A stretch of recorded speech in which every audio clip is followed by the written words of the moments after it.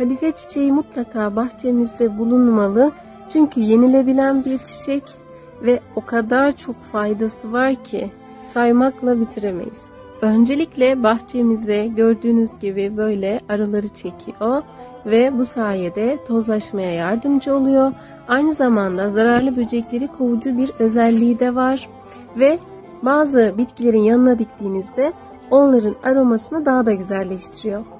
Yenilebilen bir çiçek olduğu için de sirkesi yapılıyor, salataları süslemek için kullanılıyor. Daha sonra reçeli yapılıyor. Bakın kadife çiçeği bahçeye arıları nasıl çekiyor görüyorsunuz. Arılar tozlaşmayı sağlıyor biliyorsunuz.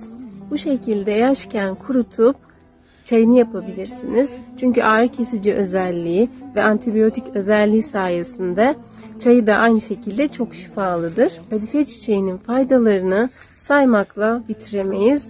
Sizler de ister yağını, ister kurutup çayını, ister reçelini, isterseniz de salatalarda süsleme olarak, çiğ olarak tüketebilirsiniz. Çünkü yenilebilen harika bir çiçektir.